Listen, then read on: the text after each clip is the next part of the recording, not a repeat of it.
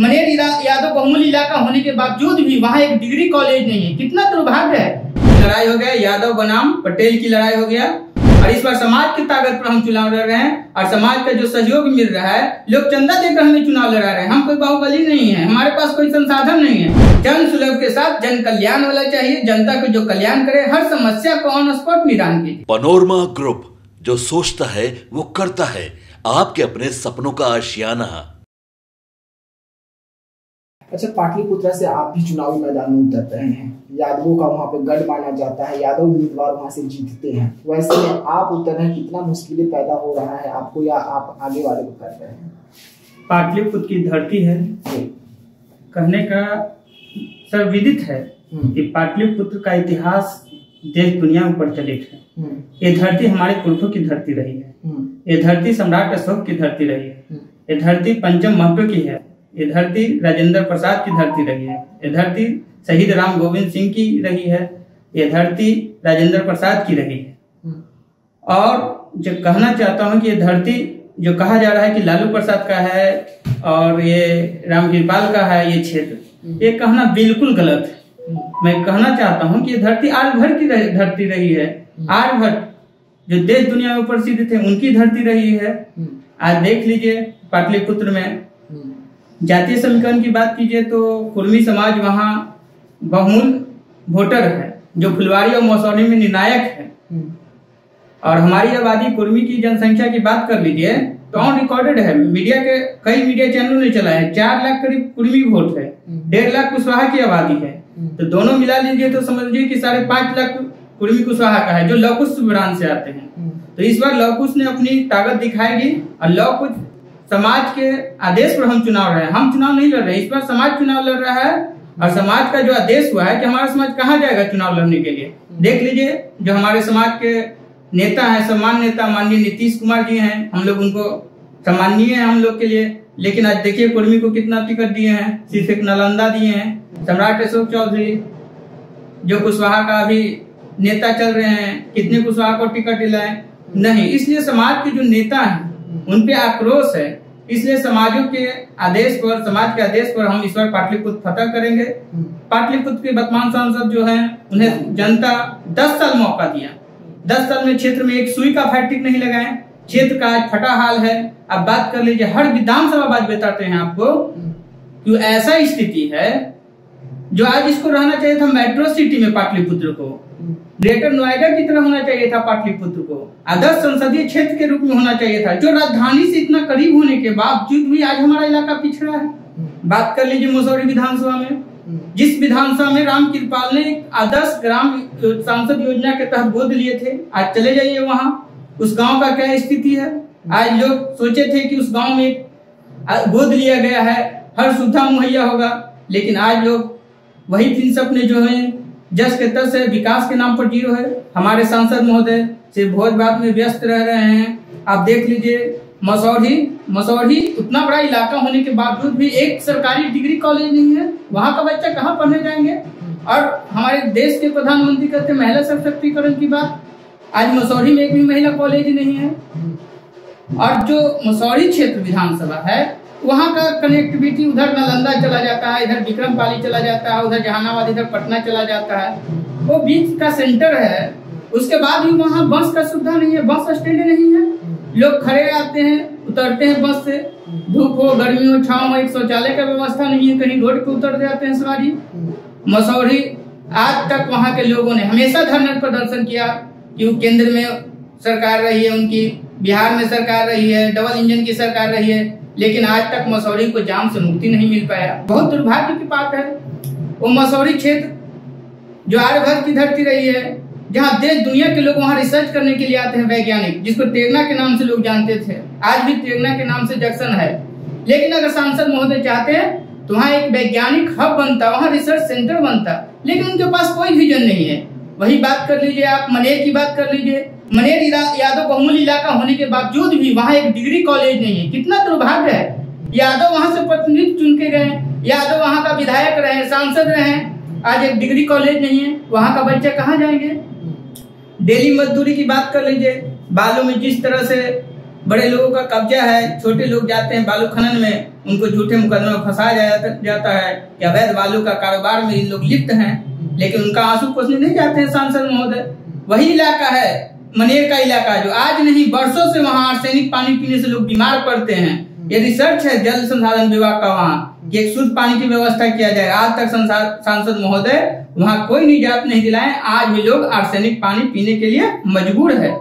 वो इलाका में लोगों का मांग था कि मनेर के इलाका को छपरा दिघवाड़ा से जोड़ा जाए जिससे यातायात सुगम होगा लोगों को रोज़गार का उपलब्ध बढ़ेगा।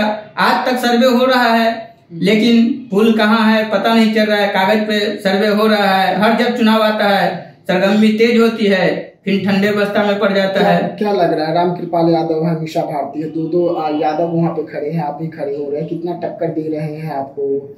देखिए वो लड़ाई यादव बनाम यादव था लेकिन अब लड़ाई हो गया। यादव बनाम पटेल की लड़ाई हो गया। और इस बार पटेल समाज जिसमें लौकू समाज आते हैं मिलाकर यानी कुर्मी कुशवाहा मिलाकर इस बार मुख्य भूमिका के रूप में रहेंगे और इस बार समाज की ताकत पर हम चुनाव लड़ रहे हैं और समाज का जो सहयोग मिल रहा है, लोग चंदा देकर हमें चुनाव लड़ा रहे हैं। हम कोई बाहुबली नहीं है, हमारे पास कोई संसाधन नहीं है, लेकिन लोगों द्वारा जो संसाधन मिल रहा है उसी में हम लोग, इस बार लोगों का जो प्यार मिल रहा है तो इस बार पाटलिपुत्र का समीकरण कुछ अलग होगा। दिख रहा होगा मीडिया में कि कौन जीत रहे हैं, हार रहे हैं, लेकिन इस बार समीकरण बदल चुका है और हर समाज के लोग हमारे साथ हैं। वहाँ पासवान समाज का वोट है कुम्हार जाति के लोगों का वोट है अति पिछड़ा जाति का वोट है सभी लोगों का लॉकुश का अगर हम बात करें तो लॉकुश तो नीतीश कुमार साधते हैं एम समीकरण लालू यादव साधते हैं तो फिर उसमें आप कहा? नहीं इस बार समाज ठगा महसूस कर रहा है ना समाज सत्रह साल दिया उनको।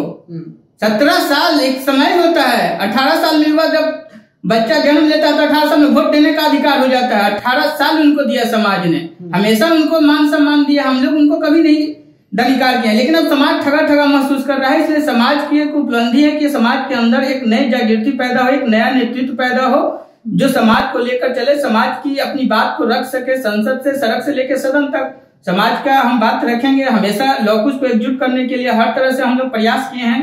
लोग हम हमारे समाज में हमारी पकड़ है। आप खुद को तीसरे विकल्प के रूप में चुन रहे हैं हम नहीं जनता वहाँ विकल्प दे रही है। लोगों को विकल्प की तलाश था। क्योंकि कोई विकल्प नहीं था तो घीसी पीटी राजनीतिक रामकृपाल को यादव को वोट मिल रहा था। एक बार मोदी लहर में जीत गए एक बार मजबूरी में जीत गए कि एक बार मौका। आज देख लीजिए वहाँ कोई भी ऐसी परियोजना नहीं है जो फुल। एक दनियावा न्योरा जो परियोजना थी रेल परियोजना बहुत बड़ी सपना दिखाई गई थी। जब रेल मंत्री थे माननीय मुख्यमंत्री नीतीश कुमार उस समय का परियोजना है। आप समझिए कितनी बड़ी परियोजना है। आज भी आधा काम हुआ आधा में बाधा लग गया। दनियामा से डुमरी तक बना और न्योरा आते न्योरा तक पहुँचा नहीं। एक औरंगाबाद बीटा रेल परियोजना है। वर्षों से मांग है कि बीटा औरंगाबाद रेल परियोजना चालू होगा। जब चौदह में भी गए थे चुनाव में समय में गए थे तो सांसद महोदय वादा किए थे एक बार मौका दीजिए परियोजना हम चालू करवा दिया। आज दस साल समाज ने मौका दिया हर समाज के वर्ग के लोगों ने मौका दिया। आज देख रही रेल परियोजना का क्या स्थिति है। लोग वहाँ सड़क पर उतर कर रेलवे लाइन पटरी पर उतर कर जान देने के लिए तैयार हुए थे। लेकिन आज भी परियोजना वही जब चुनाव का मौसम आया है तो सर्वे चालू हो गया है। वही बात कर लीजिए, मनेर सूफी संतों की धरती रही है। वहाँ चाहते थे पर्यटक हब बनता, लोगों के लिए रोज़गार उपलब्ध होता। लेकिन आप देख लीजिए मनेर को, क्या है? लोग कहाँ कहाँ के लोग वहाँ चादर चढ़ाने के लिए आते हैं? लेकिन मनेर में उसका कोई नहीं हुआ, पर्यटक हब बन सका। आप बात कर लीजिए विक्रम में। विक्रम का बहुत सेंसेटिव मुद्दा है, जो ट्रामा सेंटर बना था वहाँ। लगा था क्षेत्र में, लोगों को लगा था कि यहाँ स्वास्थ्य सुविधा मुहैया होगा, जो पटना और पीएम से जाना पड़ता है। एम्स जाना पड़ता है। इसलिए यहाँ बन गया है तो हम लोग को सुख सुविधा मुहैया होगा। लेकिन मैं डंके के चोट पे कहना चाहता हूँ कि जो ड्रामा सेंटर है, वो ड्रामा सेंटर बन के रह गया है। सिर्फ़ वहाँ एक स्वास्थ्य केंद्र का बोर्ड लग गया है। एक नॉर्मल मरीज़ जो रोड एक्सीडेंट में हल्का फुल्का आते हैं, उनको पीएम से ट्रांसफ़र कर दिया जाता है एम्स ट्रांसफ़र कर दिया जाता है। अब समझ लीजिए कि उतना बड़ा करोड़ों अरबों की पूंजी जो जनता की कहना की पूंजी लगा हुआ है, लोग परेशान है। उसी बीच में एक नवतपुर बाज़ार बनता है, जो जाम का निजात आज तक नहीं मिला, वहाँ से मरीज़ आते आते नवतपुर पहुँचता है, आधा घंटा, एक घंटा जाम रहता है, बेचारा दम तोड़ देता है। आज देखिए एक वीडियो कुछ समय पहले वायरल हुआ था, मरीज़ के लिए वहाँ एंबुलेंस तक नहीं मिल रहा है। सांसद महोदय खुद उसको टेंपो में बिठा के ले जा रहे हैं और उनका अपना खुद देख लीजिएगा, फेसबुक हैंडल पर डाल रहे हैं कि हम सेवा कर रहे हैं। बताइए कि वहाँ का सांसद रहने, दस साल सांसद रहने के बावजूद भी वहाँ को मरीज़ के लिए एंबुलेंस की व्यवस्था नहीं हो रही है? क्या विकास है? विकास के नाम पर सुन है। वो पाटलिपुत्र की धरती जो लौकुश की धरती रही है, वहाँ के लोग कृषि आधारित है। उसको धान का कटोरा कहा जाता था। उस क्षेत्र में नहर की पानी आती थी, जो सोन से वहाँ चलता था, जो दानापुर नहर तक पानी आता था, दानापुर तक गंगा तक पानी से आता था। आज देख लीजिए नहर का पानी का क्या स्थिति है। समय पर उसका उड़ाही नहीं हो रहा है। लोग किसान खेत में बेचारे अच्छे फ़सल नहीं उपजा रहे हैं। आज हमारे यहाँ मंडी का कोई व्यवस्था नहीं है। जबकि जो क्षेत्र है, विक्रम हो गया, पालीगंज हो गया, फुलवारी हो गया, मने मनेर हो गया मसौरी हो गया कि कृषि आधारित क्षेत्र है? ग्रामीण परिवेश में। सारे लोग कृषि पर सेवेंटी एट्टी परसेंट लोग कृषि पर आधारित हैं। आज मंडी की कोई व्यवस्था नहीं है। फैक्स में देख रहे हैं आने पौने में लोग दाम में भेजने के लिए तैयार हैं। उनका जो उचित सम्मान है फ़सल का उचित रेट होना चाहिए नहीं मिल रहा है। वहाँ के युवा आज पलायन कर रहे हैं आज उन्नीस लाख बड़ी आबादी है। क्या वहाँ कोई एक फैक्ट्री नहीं लग सकता था? कुछ विकास हुआ है उसको नहीं हम लोग इग्नोर कर रहे हैं आईआईटी बना बीटा में। आज बीटा देख लीजिए, एक परियोजना था कि पटना से बक्सर की फोर लाइन दूरी बनेगी तो समय कम हो जाएगा। आज देख लीजिए, पटना से बीटा एलिवेटेड रोड का स्थिति क्या है। जब चुनावी आता है, सरगर्मी आता है, माहौल बनता है, जब चुनाव खत्म होता है। देखिए बीटा और जो बोले पटना बीटा की दूरी एलिवेटेड आज भी नहीं बन पाए इसलिए मिला जुला के मतलब लाप लपेट में कहा जाए तो क्षेत्र में विकास के नाम पर शून्य है। सिर्फ़ हमारे जो सांसद महोदय हैं भोज बात में व्यस्त हैं, बर्थडे में चाहिए मिल जाएँगे, सुलभ हो सकते हैं जन सुलभ हैं, लेकिन जन कल्याण के नाम पर शून्य है।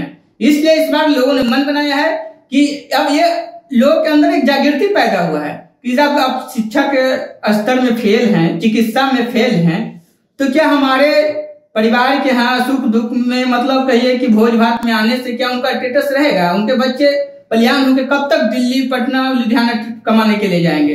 अगर उनके पास कोई विजन रहता तो एक बहुत बड़ा वो फैक्ट्री इंडस्ट्रियल हब बनता क्योंकि वहाँ पुनपुन नदी का है वहाँ मोरह नदी हो इधर गंगा मिल गंगा के नहर पे है फैक्ट्री इलाका भी वहाँ फैक्ट्री लगाया जा सकता था।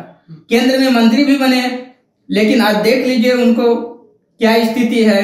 सिर्फ़ भोज बात में व्यस्त। इसलिए जनता इस पर मन बना चुकी है कि ऐसा नेता नहीं चाहिए। नेता ऐसा चाहिए जन सुलभ के साथ जन कल्याण वाला चाहिए। जनता को जो कल्याण करे हर समस्या को ऑन स्पॉट निदान कीजिए। पनोरमा ग्रुप जो सोचता है वो करता है।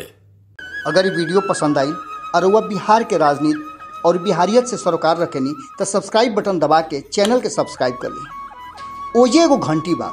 ओकरा बटन दबा देला से कुल सटीक और मारक खबर रुआ मुफ़्त में मिल जाए अगर रुआ पत्रकारिता के हमनी के नया प्रयोग में सहयोग कर चाहतनी तो ज्वाइन बटन दबा दी।